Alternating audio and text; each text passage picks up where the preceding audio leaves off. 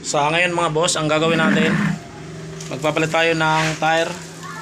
Nitong G6S S150. Ito mga boss, sim lang din sa stock. 9080 17 Angel City Pirelli.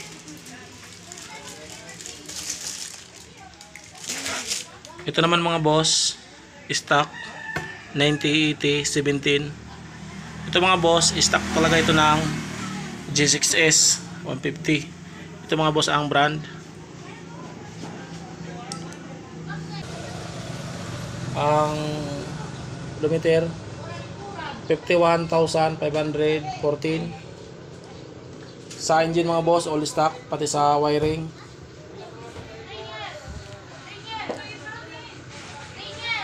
Ngayon pa lang mga boss pagpapalit ng tire. Ang naabot naabot na odometer 51 51,000